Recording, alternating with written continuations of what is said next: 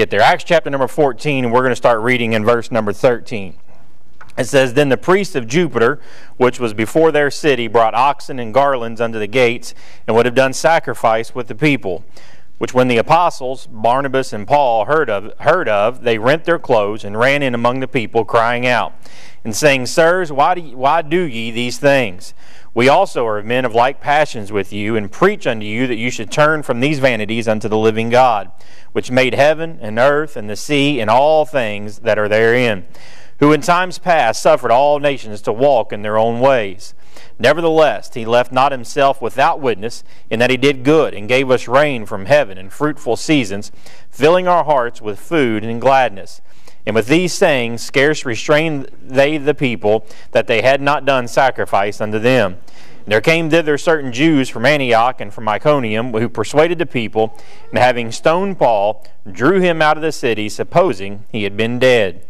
Howbeit, as the disciples stood round about him, he rose up and came into the city, and the next day he departed with Barnabas to Derbe. And when they had preached the gospel to that city and had taught many, they returned again to Lystra and to Iconium and Antioch. Our gracious Heavenly Father, Lord, we do thank you again for the reading of your word. Lord, we're thankful for all the blessings you've given to us tonight, thankful for the good singing. Lord, we're thankful for everything you've done for us. Lord, we're thankful for your touch. Lord, we ask that you just uh, help me tonight, be with what you've laid upon my heart. Lord, there be anybody here that's lost, Lord, I ask you just touch their hearts, Lord, and help them see their need for salvation. Lord, we do ask you be with those that mailed things back those that drop things off tonight, Lord, we don't know the reason, Lord, but we just ask you convict their hearts wherever they are right now, Lord, that maybe you just do a work in their heart and see them get saved, Lord, before it's everlasting too late. Lord, I ask you just help us tonight, be with what you've laid upon my heart, help it be a strength and encouragement to your people. In Jesus' name we pray. Amen. The first thing I want to look at by way of introduction is we go back uh, a few verses before we started reading, and I want us to look at the word and the word that was preached here in verse number 7. Uh, we see in verse number 6 it talks about they fled into Lystra and Derbe, and then in verse number 7 it says, And there they preached the gospel. Uh, it'll do us good if we would just listen to the preaching of the gospel. We would listen to the word that was preached. Uh, we had two wonderful messages here on Sunday, uh, but I wonder wonder sometimes, well, I've already made her mad. That didn't take long at all. We wonder sometimes how much listening do we truly do when the word is preached. We let it go in one ear and out the other. Uh, we can walk into the parking lot and couldn't give and couldn't begin to tell you what was preached on a lot of times. We couldn't begin. We could tell you the preacher's joke. We could tell you the poem. Uh, maybe if you had somebody that got up here and sang, maybe you could tell the preacher what he's saying. Uh, but can you tell what word was truly preached? So we see the word that was preached in verse number 7, but I want to look at how the word was received in verse number 9. And it says, talking about this impotent man that it begins talking about in verse number 8. And in verse number 9, it says, And the same heard Paul speak, who steadfastly beholding him and perceiving that he had faith to be healed. Uh, so we know this is what can happen if we're willing to hear the word of God preached. Uh, if we will listen, we have no idea of what he can do in our life. Uh, we can see that there's a, the word, the command that's given in verse number 10. Uh, and Paul tells him, he says, and said with a loud voice, Stand upright on thy feet. And he leaped leaped and walked. You know, I go back and think about to uh, think of this man, Brother Eddie, that, that he talks about he was impotent from his mother's womb. He had never walked. He had never had his feet on the ground to walk. Yet, at Paul's command, because he was listening to the preaching, he was listening to the word of God that was being given to him, not only did he receive strength, he immediately started walking, Brother Moore. Now, I don't know about anybody else, but we have a couple nice, uh, beautiful babies in here tonight. Or I guess one of them must be back there. There's at least one of them in here. Uh, she's not walking yet. Thankful, they're probably very thankful she's not walking just yet, unless they got everything baby proofed already. But they don't come out of the womb just walking. We have to learn that. We acquire that over time, Brother Donald. Uh, first, we learn to crawl, and then we learn to walk, and we acquire that over time. Yet, once the word was spoken to this man, it says he leaped and he walked. We have no idea sometimes what the Word can do in our life if we would just listen to God's commands. How He might help us, and who knows where we might be able to walk into if we would listen to His commands. Uh, so we see the Word, but I want us to look at the worship in verse number 11. And this isn't a good worship here.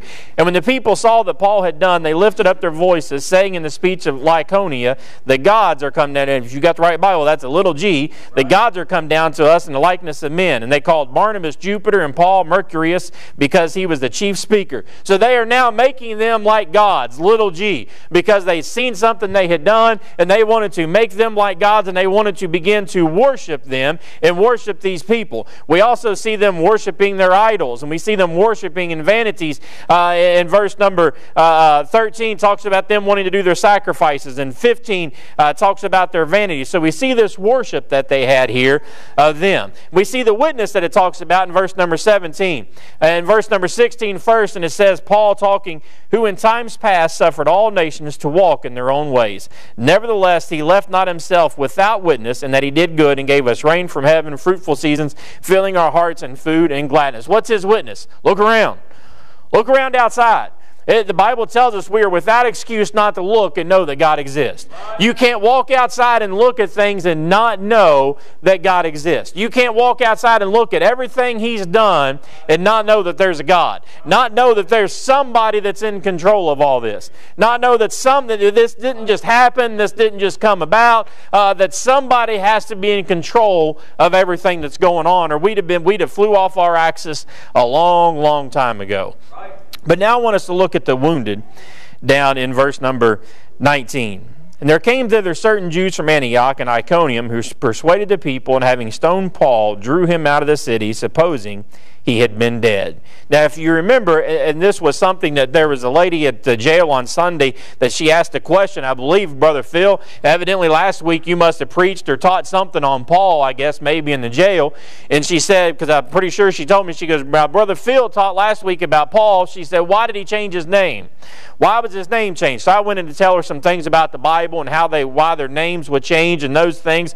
But if you know if we know Paul, we know that he we see him show up as Saul and he's at the stoning of Stephen. And now here he himself is being stoned. He himself is going through the torture of this stoning. All the way to the point that it talks about they drew him out of the city, supposing he had been dead. So he is stoned so bad that he's laying there and they think he might be dead. They think there is a chance that he is dead that there's nothing else they can do, and we can go and, and, and talks about in verse number 20, howbeit as the disciples stood round about him. Uh, there, there's a lot of things you can read about why they were around him. Some think they were protecting him. Some think they were just trying to keep nobody else from getting to him. They were going to see what was going to happen. But either way, they thought he was dead. And then think about the what. And then when I say what, I mean this is put yourself in that situation. You've just watched Paul get stoned. You see them drag him out of the city and he's laying there and you're thinking he's dead. But in verse number 20, he rose up.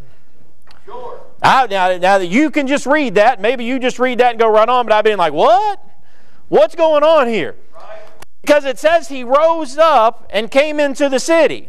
So we thought he was dead. He didn't just raise up and sit there. You know, you watch movies and you see somebody get beat up and they, they got to raise up and shake it off and get themselves cleaned up, whatever. He rose up and started walking, Brother Moore, and went back into the city. I'd have been like, whoa, what's going on here? But then I want us to look at the wow in verse number 21. It says, And when they had preached the gospel to that, in verse number 20, it talks about he departed to Derbe. And then in verse number 21, and when they had preached the gospel to that city, and he had taught many, they returned again to Lystra and to Iconium and Antioch. Why did I say wow? I'm not going back, Brother Phil. I'm not going back, Brother Ron. I go over to the jail on Sunday. Look, it's easy to stand and say, hey, Brother Ray, we'll do anything for God. You let me get stoned to near death. I might not be as fast as to go back the way they did. They immediately went about doing God's business to the next city, and then as soon as they were done there, they immediately returned back where they had just stoned Paul and left him for dead. Wow. Why did he do that? Verse number 22 confirming the souls of the disciples and exhorting them to continue in the faith that we must through much tribulation enter into the kingdom of God. Can I say he went back because he made sure he knew those people still needed taught? He knew those people that may have been converted still needed something. Why? Because he wanted to see them continue to grow even if he wasn't going to be there. He knew his journey would be, he wasn't going to stay in that city. He knew what those people needed. Why? Because he had a passion for those people. He had a passion to see something happen in their lives. He had a passion, Brother Eddie, to see those things get done that God had called him to do. He had a, you had to have had a passion to see the Word of God preached to them if you're going to return from being stoned. If you're going to be stoned and be left for dead, you have to have a passion for the people if you're going to return back and take the chance on having that happen again. Right. Can I say this also? This was a. Uh, if you want to know where this all come about, there was a couple Sunday nights ago, and, and I don't remember what she was doing, and I was hoping that maybe I'd waited long enough, maybe she wouldn't show up and wouldn't watch, and then I wouldn't have to hear about this later. Brother Aaron already knows that I'm talking back, so he already looked over and seen Miss Tina just walked in. And so a couple weeks ago on a Sunday night, I don't remember now what she was doing, and she was on her phone, Brother Ray, and we pulled up into the car, and, and, we pulled up and we parked outside there and we were sitting there and she was still sitting and I got out and walked around and most of the time like any good husband does, Brother Eddie, I got up and I was just going to walk in. And so Bella got out and I was joking. I said, is mom sitting there waiting on me to open the door for her? And when I went to go open the door, she opened it and she got out. And I think she even said that. She goes, Did dad ask if I was waiting on him to open the door? And she goes, I used to not have to wait. He would just do that. And that got me thinking. We did used to do that sometimes. Maybe not all the time, Brother Ray, but we did sometimes. Brother Ray's like, nope, I never did that. She got out on her own. But some of us fellas, maybe Brother Jack did. Maybe Brother Jack every now and then opened the door for Miss Cinda. I don't know. But all of us think back to when you were dating. Take, think back to when you was uh, uh, maybe trying to win her heart. Think back to those times and that passion that we showed and the, the time and effort we would put in to win their hearts and get that second date or whatever it may be. Think back to that time when you first got married and just uh, the passion, so to speak, that might be in your marriage. Think back to those times and you would just, you would do anything to spend time with them. You would do anything to get them to go out with you again or so to speak. And then over time, that passion just wanes and you just begin to go through the motions and just do the same thing over and over and over again. Now, think back to that time when you first got saved. Think back to maybe when, whatever, maybe it was in a, a, a, car somewhere, maybe it was in a church, maybe it was at home, wherever may have been that first time that God, when God saved you. And think of that passion you had because you wanted to see anything done. You, you was ready to, to charge hell with a water pistol. You, you was coming asking a pastor, what can I do? What, what, what can I be a part of? What, what do you need help with? Or whatever it may be. And that passion you had to serve the Lord. Right. And then all of a sudden, Brother Brian, people hurt you at the church house. Maybe just all of a sudden now, maybe when you got saved, maybe you were somebody that's one of these young people. And all of a sudden now you're grown and you've been married, you got two or three kids that take up your time and, and they're doing this or doing that. And all of a sudden, the church is important, we still go. We're not going to stop going to church, but that passion for the things of God just isn't there the way it once was. That's what I'm going to preach on this tonight. Is just this that simple thought. Where's our passion? Where's our passion? Can I say first off, where's our passion in our walk? It was talked a little bit here about on, on Sunday. Uh, uh, Brother Ron was talking about his family and talked about those that profess to be saved and those that profess to, uh, to know the Lord, but their walk doesn't show it. Where's our passion in our walk? How many times do we walk out of here and we immediately want to put Jesus up on the shelf, so to speak? How many times we walk out of here on a Sunday night and we're going to put him up on the shelf until Wednesday rolls around, then we'll get him down? How many times is our what kind of passion do we put in our walk? Think of Job. What was Job in chapter in, in Job chapter number one? Job was a perfect, upright man, one who feared who feared God and eschewed evil. Can, why was that said about him, Brother Phil? Because his walk showed that. His everyday walk showed the type of person he was. When you look at Noah, and what does it say about Noah? It talks about Noah and it talks about everything that God had found in the world, uh, but it says, But Noah found grace in the sight of the Lord. Why did he find that? Because that's how his walk found him. Because his walk showed that. Where is our passion in our walk? Oh, I love God and, and, and I want to do anything for God as long as I'm at church on Sunday or Wednesday. But if I'm on the job on Monday, eh, my walk might be a little worldly. No, where's our passion in our walk? That no matter what comes our way, I'm going to follow God. That no matter what somebody says, I'm going to walk the way I know I'm supposed to walk. I'm not going to dabble in the world. I'm not going to get all caught up in the nonsense I don't need to get caught up in. I'm going to continue to walk with the Lord no matter what. Amen. See, we don't have that same passion. We have that passion when it comes to the things of the world, but we don't necessarily have that passion when it comes to the things of God. We're willing to walk on that line. We're willing to tiptoe on that line. All you have to look as you can see is the certain things. You know, I, I, well, it was Brother Ron even talked about on uh, uh, Sunday morning, I believe, when he talked about politicians and those things. Like if you're for homosexuality, I ain't voting for you. If you're for abortion, I ain't voting for you. But too many times there might be certain things that, well, you know, but I like him on this or I like him on that, so therefore I'm going to vote. Because we don't want to adhere and we don't have a passion for our walk. What difference could we make out in the world if we were passionate about our walk? If we were passionate about how we walked with the Lord outside those doors, the same as we are inside those doors. I would venture to say that that little note that I read before service that that lady sent, uh, that, that a lot of us were on that on fire. And you might want to, uh, we might not have been what you might want to call a Jesus freak, but we was on fire for God at that certain point in our life too. But are we now? Our walk don't show that outside of these doors. Not only where is our passion for our walk, where is our passion in our worship? Can I say this? And I am not. Uh, uh, uh, I am not near the sports fan that I used to be. I will watch sports uh, if it's on TV. If we're not doing anything else, especially, I will turn on a ball game.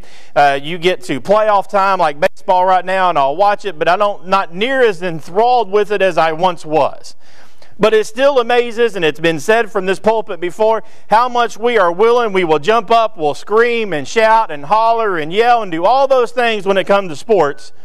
And then we come in here, and I wish, uh, you know, hey, maybe it's just my preaching. Maybe Brother Doug don't see any of this stuff. Maybe Brother Ron didn't see this on Sunday, or Brother Moore on Sunday night. Maybe you all didn't. But it amazes me when we come in here and sit, and everybody just sitting back here. Sure. Where's the, where is the passion in our worship? Why is it that we can come in and just sit like a knot on the log and go about our business here at church and we never seem to worship Him? How can we not come in and show some type of emotion? I'm not telling you you got to jump up and scream and shout, and we don't have to hang from the chandeliers and throw babies and all that kind of stuff. But you would think we would show some kind of emotion. Maybe a tear. Maybe you'd want to, you know, when I asked who, who had any, I, have told Bella, if, if you want to sing, you've got to raise your hand. You know, and so when I asked if anybody want to sing, she, she's trying to, she's getting up a little bit higher than the normal. But you would think, at least somewhere along the line, you would get that little woo, that we would show something, have a passion in our worship. But we seem to come, and I'm not trying to be mean or ugly, but it seems like we just come in and we drag in and go back out because it's what we do on Sunday morning and Sunday night and Wednesday night. We don't come in with any passion to truly worship. We don't come in with any passion that no matter who it is singing, no matter who it is preaching, of just being willing to get behind them and shout or whatever it may be, or, or go to the altar and pray if that's what God tells us to do, but just have a passion in our worship. Where's our passion in our walk? Where's our passion in our worship? Can I say this? Where's our passion in our words? What do you mean, Brother Joshua, in our words? And I, this goes way deeper than just talking about the Lord. Let me say this. Come here. I want you to do something for me. I want you to stand right back here by Brother Josh. Face me. How many times do you walk into church and you have somebody else walking up there, and you walk by and say, "Hi, buddy, how you doing? Hi, buddy, how you doing? Hi, buddy, how you doing?" Did you give anybody a chance to answer? Yeah. Amen. Do we care? You sit down. Thank you, buddy. We just walk by and we just throw out words. Hey, how you doing? Do we care? When was the last time we walked up and we, we shook somebody's hand and we said, Hey, Brother Brian, how you doing today, buddy? How things going? I'm good. I'm wonderful. And took time to truly listen to them. Where's our passions in our words? Sure. Husbands, wives, when was the last time you told your spouse you loved them and it wasn't just a, hey, love you, bye? Yeah. That you truly said, I love you like you meant it. Right. Where's our passions in our words? There are many times that, that we get very passionate. You know, I seen this. I believe it was on. Uh, it was Sunday afternoon, uh, brother Thad. I guess and the Reds playing at St. Louis, and Joey Votto. You don't know if he's gonna. He plays for the Reds. I'm sure most of you, hopefully, know. Most of you all know that. That we don't know if he's going to retire, what he's going to do, and I guess he got thrown out in the first inning of the game. What was going to be his last game, he got thrown out by yelling at the umpire from the dugout. Something he couldn't do. We're the same way. We will yell at the TV like they can hear us. Come on, ump, that was a strike, that was a ball, whatever, that was a foul. How did you not call that? We'll yell at the TV. We're very passionate about our words, yelling at things like that. But how passionate are we about our words one to another? When we ask somebody how they are, well, how about this? And we've heard this even preached from here before. If you walk up and you tell somebody, if, if our you walk around and you shake somebody's hands, and, and Brother Eddie's dealing with his knee right now, and you tell him that you're going to pray for him, do you mean that? Did you pray for him? Was you truly passionate about what you said, or was it just words because I'm supposed to tell him I'm praying for him? I'm a good church member. I told him I was going to pray for him. When our pastor called this morning, I prayed for his angiogram because I'm a good church member. That's what I'm supposed to do. Or are you truly passionate about those things? It is amazing how passionate we can be when it comes to our words talking to the world about things of the world. Well, you bring up politics to some people, Brother Ray, and we can get furious and we can get mad and we can get serious on telling who you need to vote for and this and that. What about the Bible? Do we have that same passion in conveying things about the Bible to people? Do we have the same passion and say, let me tell you what my God's done for me? Let me tell you how my God can help. Let me tell you how my God can do things. And I say this on a side note. This is completely, this, this just has to do, this popped into my mind now, so I'm going to say it. So, as most of you, all of you know, besides being visitors, we had a daughter that got married. And that daughter's no longer here. And she moved three hours away. Well, Tina don't even know this yet, but I got a text message tonight. So Bella has been doing unified bowling for the last two years. Those bowling nights, Brother Ray, have been on Wednesday for the last two years. So now I'm in a conundrum. What am I going to do? Caitlin's not here to be able to say, hey, when you get off work, I'll take Bella to bowling, drop her off. Can you go pick her up? Because I got to go to church. I'm going to church. Can you pick her up? And whenever you get done, you can come or whatever. Well, I get a text message today from somebody that says, hey, do you know when Bella's bowling starts? It's like, nope. She wasn't uh, able to go to the meeting the other day, so we haven't gotten all the, you know, all the info yet, but I just know it starts sometime here pretty soon. And they texted me back and said, well, we got this schedule, Brother Donald, and bowling is on Tuesdays this year. Don't tell me God can't work things out if you're just serious and you don't ask Him to help you. God, you're going to have to work this out because I know how much she loves it. I know how much she enjoys it. I don't want her to miss it, but I can't take her on Wednesdays anymore. Well, lo and behold, it's going to be on Tuesdays. And not only is that going to work out for us, Tina will even be able to get to watch. She's not been to, I think, any of them to get to watch her bowl because she would always have to work. God can do great things if we are willing to use our words and ask Him. And we're passionate about those things. We're passionate about all the things of the world, but how much in our words words are we passionate? Can I say this? How passionate are we about our wisdom? In 2 Timothy chapter 2 and verse number 15, we all know this verse. Study to show thyself approved unto God, a workman that needeth not to be ashamed, rightly dividing the word of truth. If I was to ask you tonight what the TV lineup is for Thursday night, would you know the TV lineup for Thursday night better, or would you know what was preached on Sunday night better? Would you know the TV lineup for Friday night better, or could you recite the books of the Bible better? Could we make it past Genesis, Exodus, Leviticus, Numbers, and Deuteronomy, or Matthew, Mark, Luke, and John? Could we make it any farther past those things? Those first four or five books in each one. Could we make it past those things? How passionate are we about our wisdom when it comes to God? It is amazing how much we will know. Uh, you know, we can tell you who's on our sports teams. We can tell you, and I'm not trying to pick on you boys, I do it too. We can tell you about who's on our fantasy football teams. We can tell you about, uh, we can tell you how many hits Pete Rose had. We can tell you how many strikeouts Nolan Ryan had. We can tell you how many titles Michael Jordan won. Uh, we could tell you, uh, I could tell you how many uh, titles Tony Stewart won. And who you like was Tony Stewart? That'd be zero, right? But Dale Earnhardt won seven. So I'm just, I'm trying to pick on Thad because I hadn't picked on him yet. We can tell you all these things about the world, but how much do we know about the Bible? Oh, amen. How much do we truly know about the Bible? If I was to open up and, and, and read something out of the Bible, would you know enough to know? If I had, uh, you, you, know, by, by no means would I, but if I just had a, a different Bible up here and told you not to turn to anything and I was just starting to read, would you know enough to know? That's not in the Bible. That's not, that's not right. right. That, he's not reading what's right. How passionate are we knowing about the things of God? How passionate are we? Everybody, this is something that's confounds me. None of us are going to know everything. The Bible tells us the half has yet been told, so we're not going to know everything. Our pastor will tell you he still learns things every day that we read and study the Bible. But it amazes me sometimes how excited we get if we hear that somebody is going to preach on the end times or something of that nature, Brother Moore. And shouldn't we know a lot of those things already? Like, how many times, like, why aren't we studying those things for ourselves? Why, why does it excite us so much? Well, I can't wait to learn what they're going to talk about. Well, why haven't you learned, learned those things on your own? We're, we're, we're in, we obviously are in the last days. The world is full of questions. We should know those things to be able to answer to them. We shouldn't wait on the pastor to have to teach us those things. How passionate are we about the, our wisdom? How passionate are we about knowing what God has for us? It's amazing that the more you study and the closer you get to Him, the more that He can help you.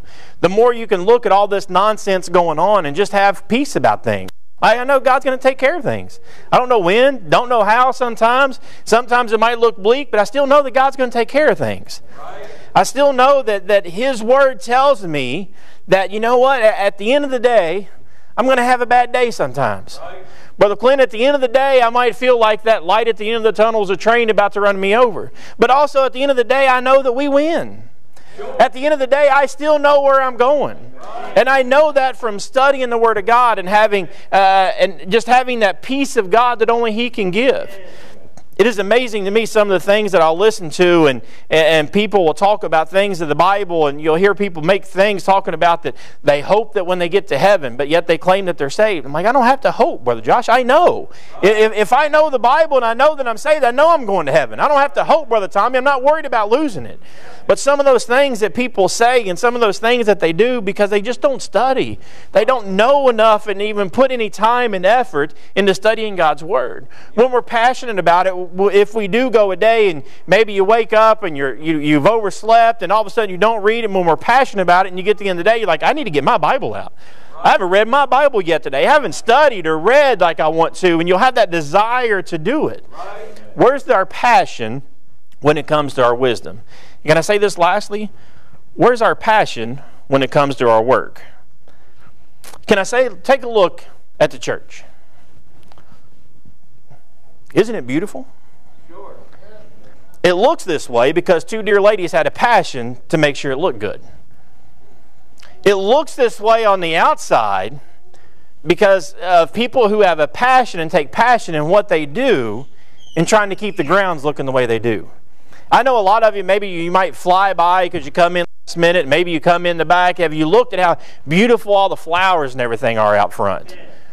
Now, I, am not saying this because I like him, and I'm not saying this because he's my friend. I don't know how much attention you pay, but I, I don't know that I've ever come in and the yard not just look pristine every single time this year. It looks wonderful. Now, if you go back to the back and you go back and get the van like I do, you also know the work that he's put in. He's got 75 traps set every week trying to catch the moles that are trying to tear our yard up. He's doing all that he can. Why? Because he takes a passion and loves what he gets to do for the Lord. What about us? Do we put that same passion into what we're doing? Amen. Can I say some of us, there's not a chance we'd miss work tomorrow? We could wake up running a fever. We could make up feel like we've been hit by a dump truck. We could wake up feeling like we're just not going to make it to the end of the day, but by golly, I'm going to get up and go to work. And as Sunday comes around, and look, I know this isn't work come to church. I get that, I understand that. But Sunday comes around, and we sneeze, Pastor, I can't be there this morning. I'm not feeling good. Yeah, amen. Where's our passion for our work? Now I understand that's not work. That's we come in here to worship. I get that. But what about when it comes to our work and the things for God? Do we put that same type of effort into the things that we do for God, into the things that we do for our worldly jobs? I've talked to, we, our pastor has talked about, and we've talked about these kids that'll go out on visitation on Monday nights, and you can't hardly even keep up with them. I, I believe it was uh, Brother Phil dropped, I think it was Brother Phil or somebody, a couple of them, we dropped off a couple weeks ago, and two of the boys went with them, and I picked them back up, and he's like, I didn't even do a single house. He goes, I just walked on the sidewalk and just handed them bags. They just went flying past me. They have a passion to get the gospel out. And some of us, look, I'm not trying to pick, I hope nobody's this way. We, we sneeze on a Monday night. Hey, Brother Josh, can't come. Not feeling good. Where's our passion in the things that we do for Him? Look at everything He's done for us. Look at everything that He has brought us from. Everything that He blesses us with. And we can't put forth a little bit of effort to do something for Him we can't put forth just a little bit of effort. Maybe I am going to go out on visitation, or maybe I am going to go be a part of the shut in ministry, or maybe I am going to give up a little bit of my Saturday to be part of the homeless ministry, or whatever it may be. Can we not put forth a little bit of effort and show a little bit of passion when it comes to working for Him?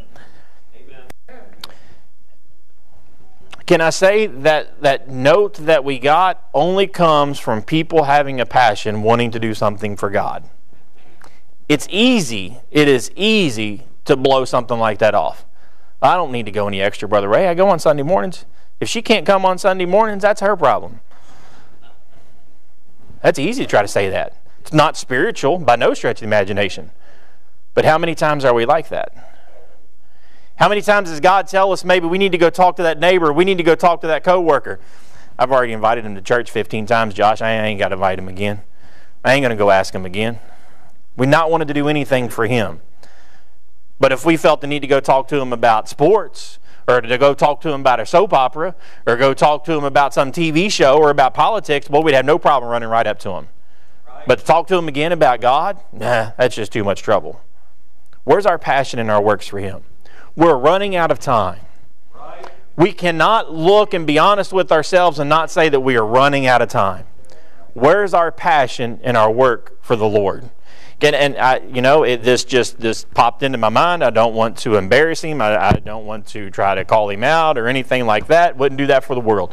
But it just popped into my mind. How many of you, if God told you to sell your house and move to Brother Adrian, come from Virginia, right? What if God told you to sell your house and go to Virginia and do something? Are you going to do it? Oh, is exactly right, Brother Phil. I've lived here all my life. I've been in Immanuel Baptist Church 20 some years. I ain't moving there. I ain't going there. Ain't no way. I don't know anybody. I'm not starting over. Not going to do it. I asked Brother Mike Goodson the last time he was up, and he, I asked him, I said, that church, I believe it, I think it was Montana, I don't remember where it was at. I asked him if they had a pastor yet, and he's like, no, they still haven't found anybody yet. He goes, and he, Brother Phil, he said, God's going to have to send somebody there. You're not going to go just to go. That's the problem, Brother Ron. Nobody wants to go just to go. But they won't allow God to send them there even if God tried to tell them to. I don't want to go someplace that I'm 150 miles from the closest Walmart. I don't want to have to go someplace that I just, you know, there's 30 or 40 people and that's all they're going to be out there. I don't want to do something like that. They don't even allow God to call and use them for something. Why? Because they're not passionate about the work. Passionate about the work is when you are willing to uplift everything and leave everything, bring everything that you have, all 37 truckloads or whatever it was that he talked about, and come to Kentucky not knowing anybody because God told you to. How many of us are passionate, are that passionate about anything? We're not willing too many times across the street, much less go to a different state. Where's our passion when it comes to working for the things of God? Our time is running out. There are people dying every day and going to hell. Neighbors, church members, family members, co workers, every day dying and going to hell and they're dying and going to hell because we don't have a passion to do a work for the Lord. We have a passion to talk to them about politics or anything else, but not to talk to them about God. Where's our passion? Where's our passion? Why, why do we allow the things of God, why do we treat that the same way we do our own personal relationships sometimes? That over time, we've just kind of gotten where we go through the routine and we no longer have that passion that we once had. Sure we no longer have that drive and that energy that we once did. Oh, she knows I love her. I don't need, but brother, brother, uh, our pastor has talked to us many times. Talked about, uh, uh, um, oh my goodness, uh, brother Bill Warnicki talking about. Hey, I told Miss Eloise one time I loved her. That was enough. And we laugh about that and we think about that. Well, I tell my wife every day I love her. Do you mean it? What about when it comes to God? Oh, I tell him every day that I love him. Do we mean it? Do we show it?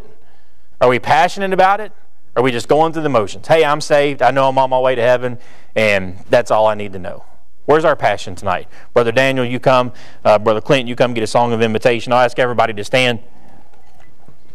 I invite you to come tonight. Where's your passion? Are you still as passionate about doing things for God and, and doing whatever it is He has for you as you was the day you got saved? Or has that passion over time just waned?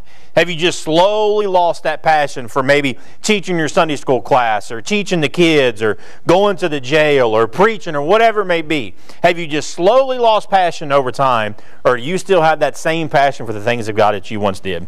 Our gracious Heavenly Father, Lord, we do thank you, Lord. We're thankful for the message you've laid upon my heart. Lord, we're thankful for each and everything you've done for us. Lord, I ask you to speak to hearts during this invitation. In Jesus' name we pray. Amen. Did you know that you could receive a daily devotion every morning in your inbox? Head on over to ibcflorence.com and click on Daily Devotions to sign up today. And as always, thanks for listening.